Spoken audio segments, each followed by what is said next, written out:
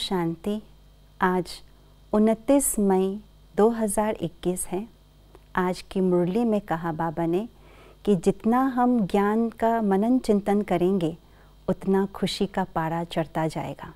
तो आज के स्लोगन में भी बाबा ने ज्ञानी तो आत्मा की निशानी बताई है। सुनते हैं आज का स्लोगन। समय पर दुख और धोखे से बचकर सफल होने वाला ही ज्ञानी समझदार है।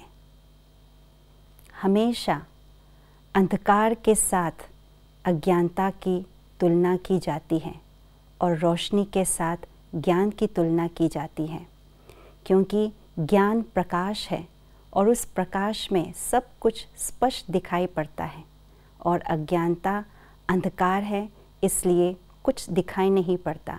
कन्फ्यूज़न में रहते हैं। समझ नहीं आता कि अभी कहाँ कदम उठाए।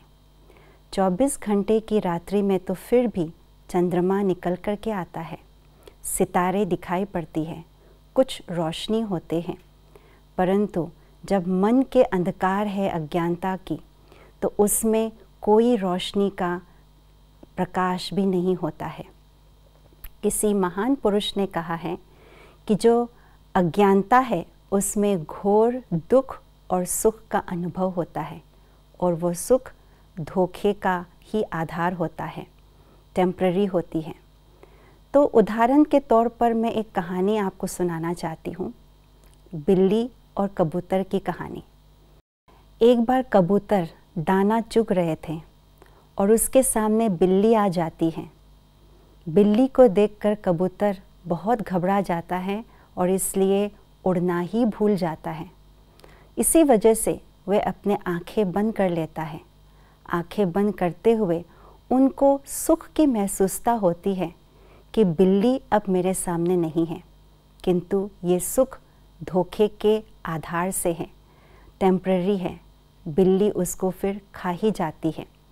कहने का भाव ये है कि जब हम अज्ञान अंधकार में हैं तो धोखे के वश हो जाते हैं। परंतु ज्ञानी तो आत्मा युक्ति युक्त और योग युक्त होने के कारण से कभी भी धोखे के वश नहीं होते। धोखा माना अपने कमी कमज़ोरियों के धोखे के वश होना। ज्ञानी तो आत्मा समय पर अपने कमी कमज़ोरियों को ज्ञान और योग से, खजानों से यूज़ करते हुए उसको ख़त्म कर लेते हैं। तो आइए, आज हम सारा दिन ये चेक करें, क्या मैं ज्ञानी तो आत्मा हूँ? क्या मैं समय पर अपने खजाने को, शक्तियों को यूज़ कर रही हूँ ताकि मैं सर्व धोखों से, दुखों से बचे रहूँ और सफलता को प्राप्त कर लूँ? ओम शांति।